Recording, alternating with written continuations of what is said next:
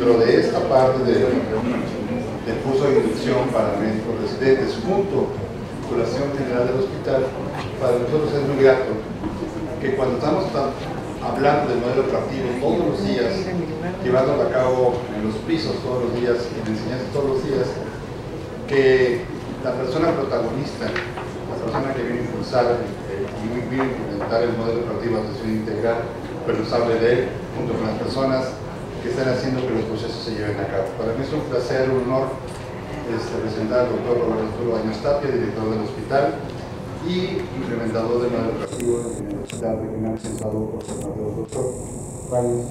Gracias.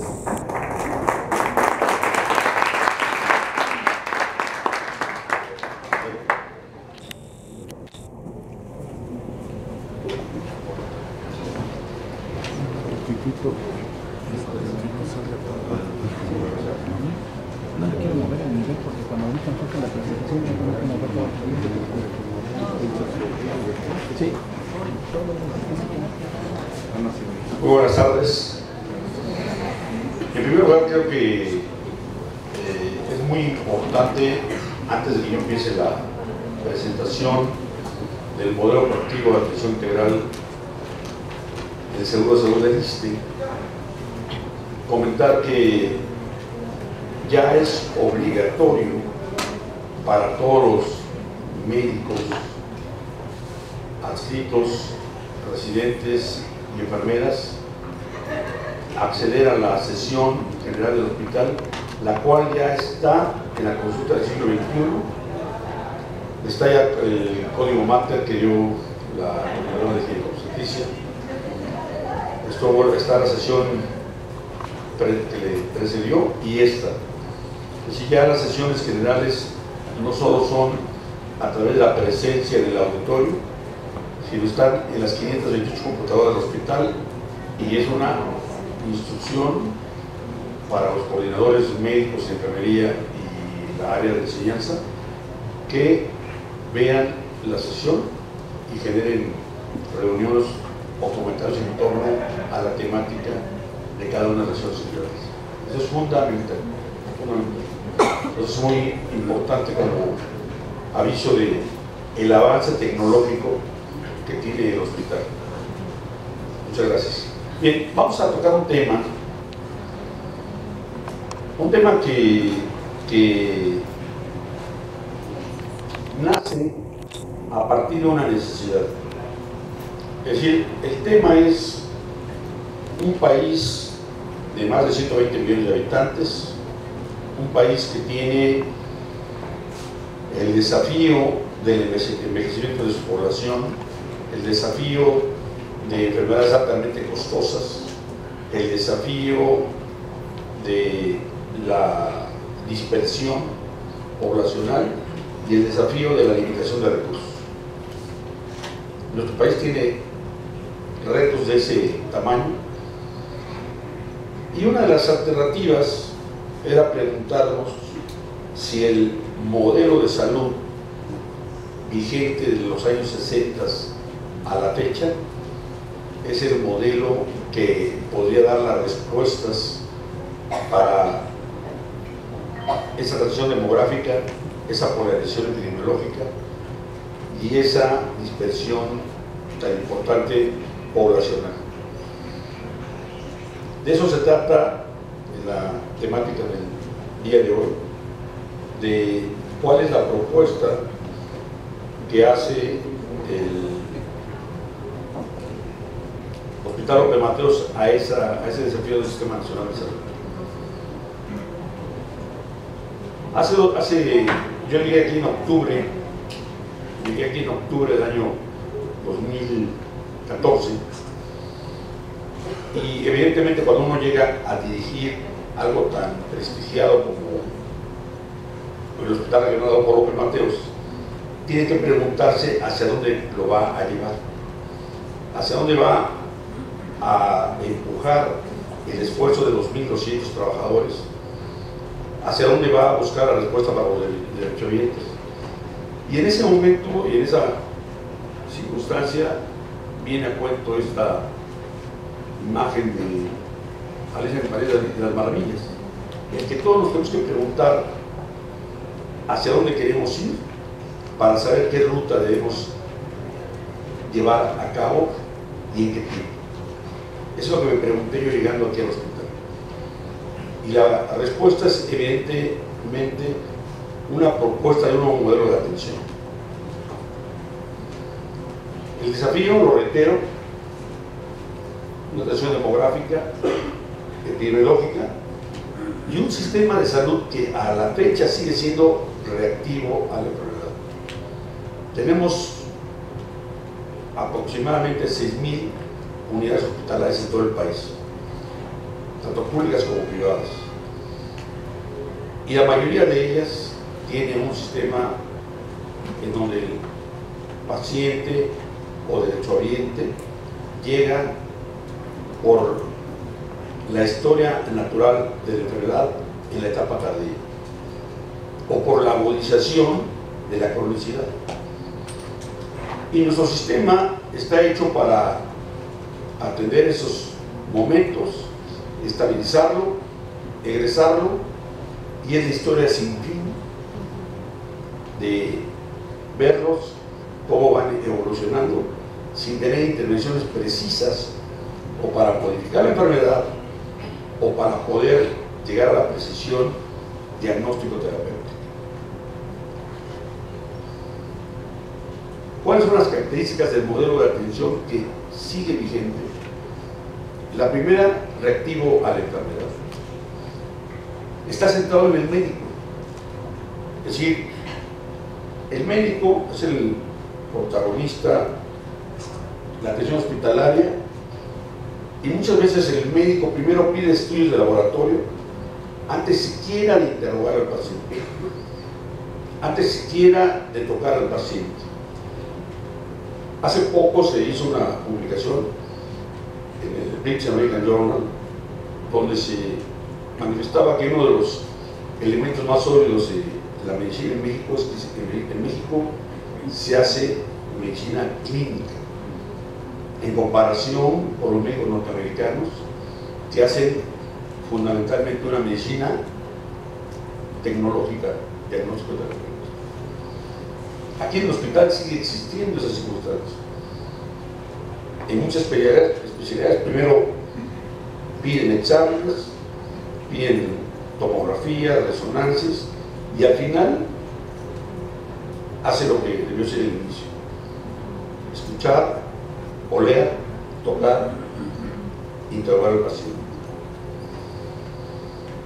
Esto evidentemente genera altos costos. Para que se den una idea, de exámenes de laboratorio que piden ustedes, cada vez pagamos 9 millones de pesos. Mensualmente 9 millones de pesos. Y muchas veces es de rutina. Aunque ya se han dado cuenta que no tiene anemia, le vuelven a pedir Aunque se hayan dado cuenta que no tiene problemas de, renales, le vuelven a pedir de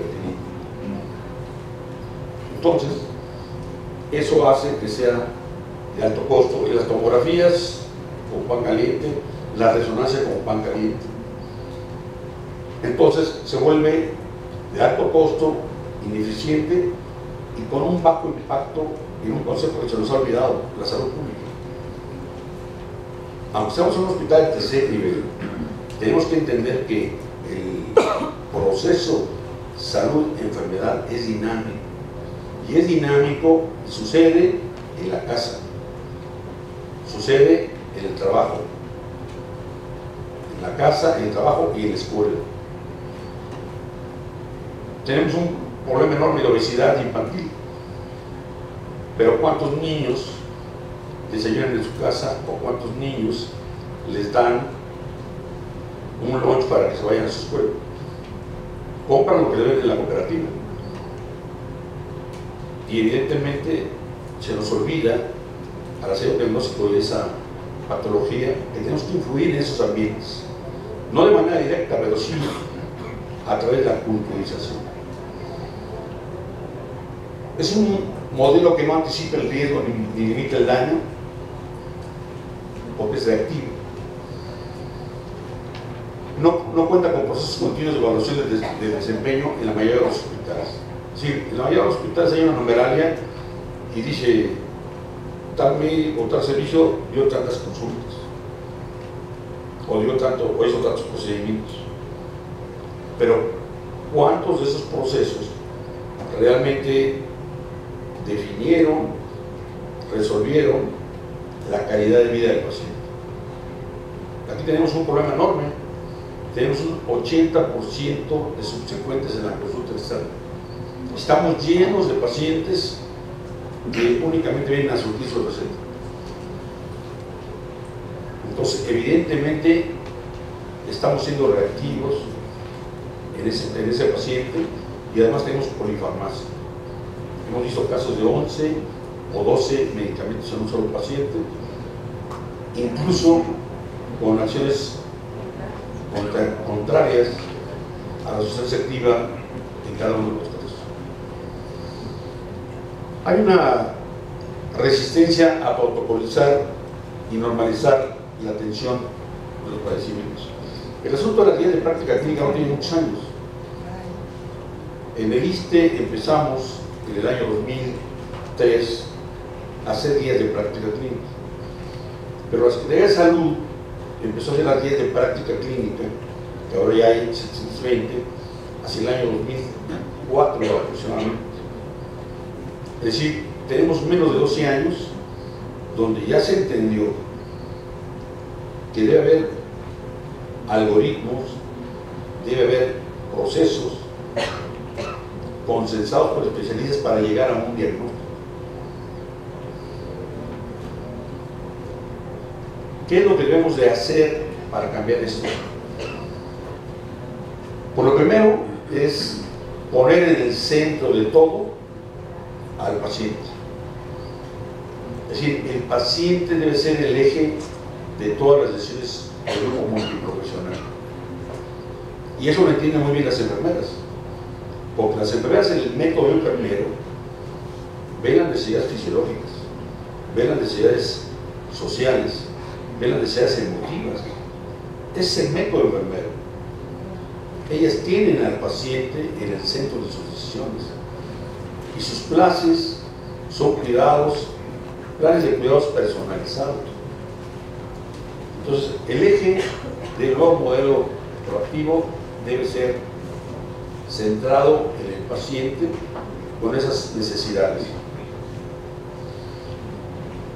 Debemos buscar, obviamente, que con la normatización y con la clínica alcancemos un mayor impacto,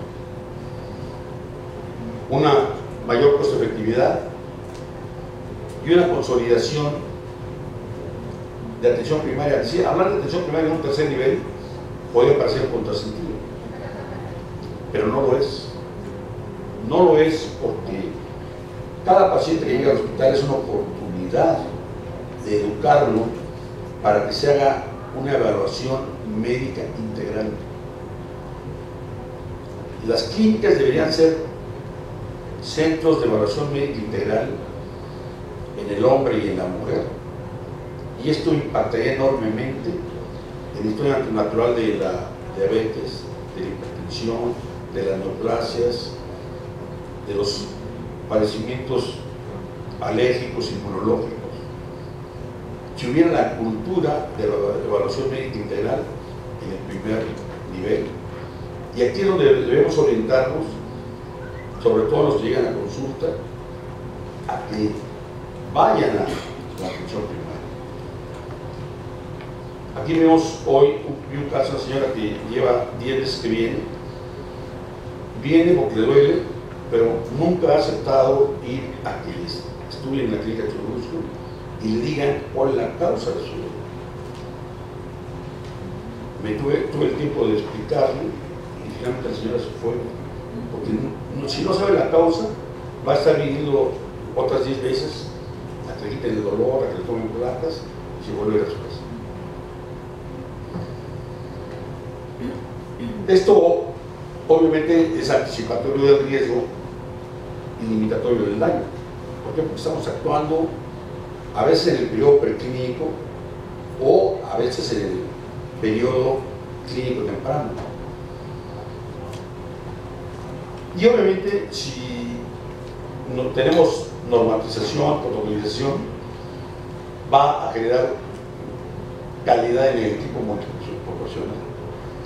Aquí les menciono una herramienta que ha sido extraordinariamente difícil que la usen. Y es una herramienta de un portal que tiene la guía de práctica clínica, que tiene el cuadro básico, el catálogo de medicamentos, que tiene acceso a siete portales de revistas de enfermería, que tiene acceso a cinco portales de revistas médicas y que indudablemente pueden servir para educar al paciente. Si un paciente le dice, uno tiene usted mastoiditis, eso sale una resonancia, para él están hablando en inglés. Ustedes ponen mastoiditis en la consulta del siglo XXI y aparece la imagen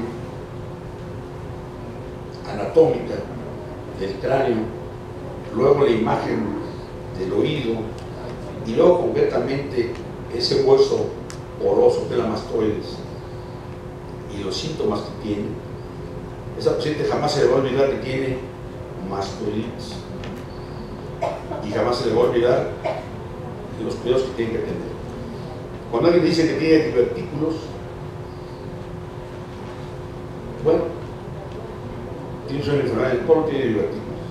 Pero si ven imagen de los divertículos y la complicación de la diverticulitis y la restricción del colon puede desembocar, esa paciente jamás va a dejar de pegarse tratamiento. Aquí viene, viene a la realidad que una imagen vale más que mil palabras. Y eso tiene cuatro mil imágenes y no creo que ni el 1%, y me estoy yendo muy optimista, del hospital la use. Ya ahora este, el ingeniero Lagos me acaba de mostrar, ya tenemos una dirección electrónica para que cualquiera en su celular, en su tablet, en su computadora, acceda a la consultación. Ya es una herramienta que ayer estuvimos viendo, vimos las sesiones generales firmadas para que hagamos una, un hospital del siglo XXI.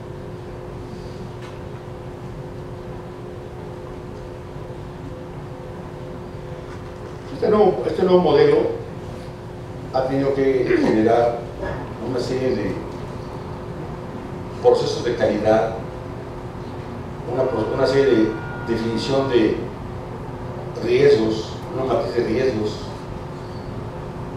y ir abordando por prioridad cada uno de esos complejos procesos que hay en un hospital para poder llevar a cabo un modelo proactivo que tiene como centro la seguridad del paciente y que tiene como concepto la resolución de la problemática del paciente a, través de conocer o eficientar los procesos hospitalarios.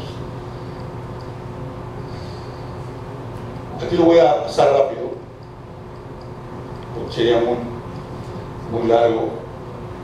Este diagrama habla de cómo cambiar un hospital regional con un modelo reactivo a un hospital que sea totalmente proactivo. Cada uno de los gajos de esa esfera ha sido la tarea de los últimos dos años y medio, la tarea de los procesos de cada una de las áreas y ahora, verán en la palabra y la voz de los protagonistas de esa tarea qué es lo que se está haciendo. Ya no, no podemos seguir hablando conceptos, ya debemos hablar de resultados, ya debemos hablar de dónde estábamos y ahora dónde estamos y luego dónde vamos a estar.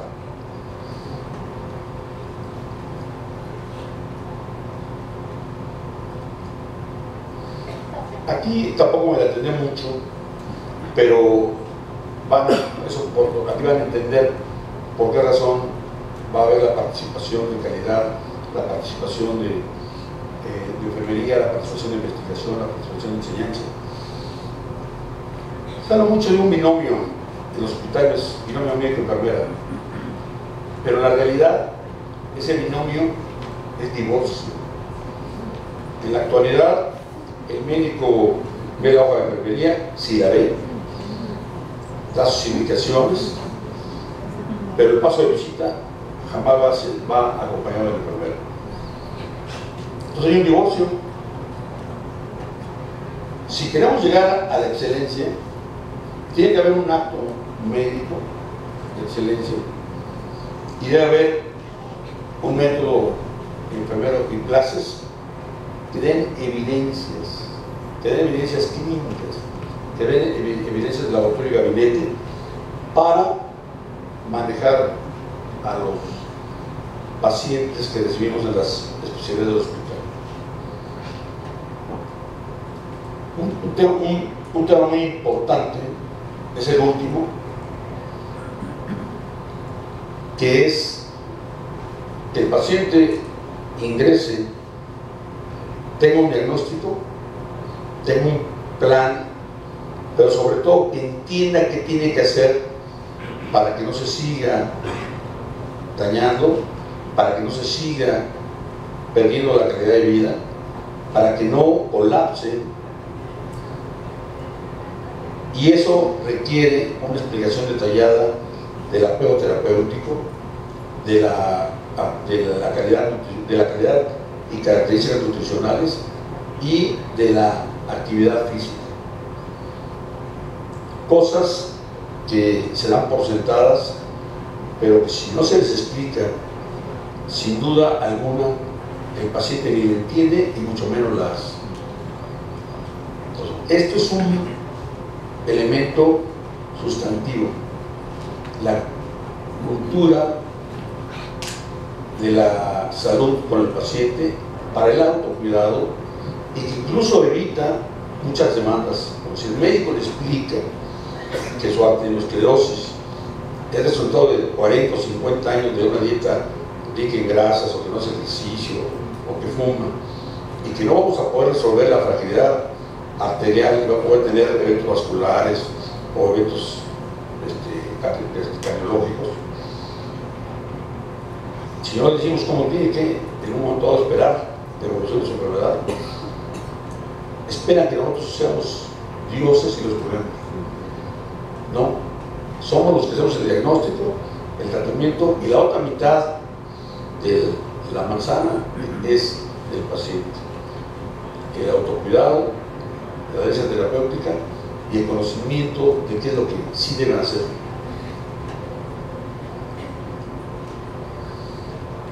Esto indudablemente nos llevó a tener una misión. La misión es la excelencia médico-quirúrgica. La misión es que seamos lo que somos hoy, el primer hospital regional del ISTE en 43 indicadores del desempeño. Hacíamos 6.000 cirugías en el año 2012, ahora hacemos 10.200 cirugías en el año 2016. Entonces, en la vida real sí se está trabajando y en la vida real se, se hay resultados. Los valores parecieran este, también ya dados por hecho, pero no, no son dados por hecho. En la vida real del hospital tenemos que recordarlos todos los días. Humanismo, empatía, tolerancia, proactividad, equidad, igualdad, no discriminación, legalidad, ética profesional, honradez, transparencia. Cada uno de ellos tendría motivo para una plática tan solo conceptual. Pero si no se tiene valores, tampoco se tiene excelencia. Entonces, en esencia, lo que va a ver a, continuación es qué en realidad ha sucedido en la vida real en estos dos años, en las diversas áreas que participan en el hospital y que no son todas. No podemos hacer una sesión ser exhaustivos ni podemos hacer una sesión acabar toda la temática que involucra el hospital. Aquí, por ejemplo, no aparece la administrativa, que es sumamente compleja. pero da una idea panorámica de lo que es proactividad, participar riesgo y limitar el daño, lo que es la excelencia en los médicos quirúrgicos, lo que es el médico enfermera y lo que es un hospital que cree en la calidad, que cree en la seguridad del paciente y que aspira a ser el primer hospital certificado de NIST. Esa es la temática. Damos la palabra a nuestra jefa de la unidad de calidad, a doctora Sara Gómez.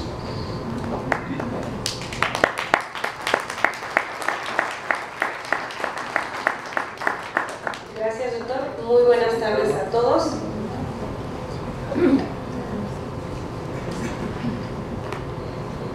Es, es importante resaltar que este modelo proactivo, eh, para empezar, está pegado a estándares internacionales, específicamente a la Comisión Conjunta Internacional, que es nuestra máxima autoridad a nivel mundial y que certifica la calidad de establecimientos de atención médica a nivel internacional. Entonces, esto nos hace y nos pone en punta de lanza para todas las actividades que estamos llevando a cabo.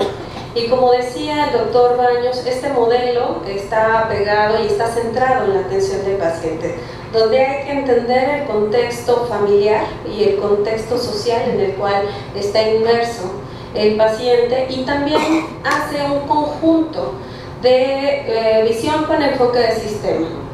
En, este, en esta visión con enfoque de sistema, todas las áreas y todos los procesos están vinculados y tiene cinco bloques importantes este modelo. El primero, apegado a acciones básicas de seguridad del paciente y son nada más que las metas internacionales de seguridad del paciente, una de las más importantes, higiene de manos, ¿sí? tiene sistemas, tiene cuatro sistemas críticos, que es el sistema de medicación, que en este hospital lo tenemos controlado a través del Comité de Farmacia y Terapéutica, el sistema de gestión y seguridad de las instalaciones, el sistema de competencias y educación del personal y el sistema de prevención y control de infecciones. Además tiene una serie de estándares que son estándares centrados en el paciente y estándares centrados en la gestión. Todo esto, la base de este trabajo se centra en el Comité de Calidad y Seguridad del Paciente, que es ahí donde en un plan de calidad, con este enfoque de sistema, se llevan a cabo todas las acciones que hemos estado trabajando desde la llegada del doctor Baños.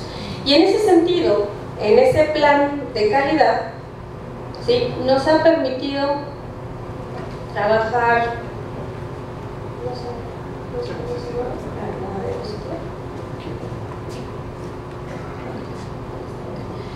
Nos ha, nos ha permitido trabajar una matriz de riesgos. Cuando empezamos a trabajar esta matriz de riesgos, ¿sí? en el año 2015, con este enfoque proactivo de detectar la posibilidad de que nos ocurra algún evento y evitar que se materialice este evento. Iniciamos en el año 2015 con la detección de 240 riesgos, abarcando los cinco componentes que les acabo de mencionar. Acciones básicas, nuestros sistemas críticos, la atención centrada en el paciente y la atención centrada en la gestión. De estos riesgos, en este año fueron 185 detectados como alto riesgo, que fue muy importante, y 45 de mediano riesgo. Es decir, el trabajo para este año fue muy arduo. ¿Por qué? Porque a raíz de esta detección, en este año en particular se implementaron 21 proyectos de mejora. Y estos proyectos de mejora fueron coordinados por todas las áreas, tanto médicas como área de gestión, y también fue controlado a través de los subcomités y comités que tenemos conformados en este hospital. Para el año 2016, ¿sí? las acciones se fueron atendiendo y para el año 2016 ya teníamos una disminución de estos riesgos, fueron 140 detectados, de los cuales 61 fueron de alto riesgo, 35 de mediano y 34 de bajo riesgo. Para este año, estas acciones eh, disminuyó el número de proyectos de mejora, aquí tuvimos 15, pero no porque hayamos dejado de trabajar, sino porque algunos proyectos fueron totalmente ya bajo la responsabilidad de comités. Un ejemplo de ello fue el Comité de Farmacia y Terapéutica, donde algunos proyectos como la preparación higiénica de medicamentos fue retomada, donde eh,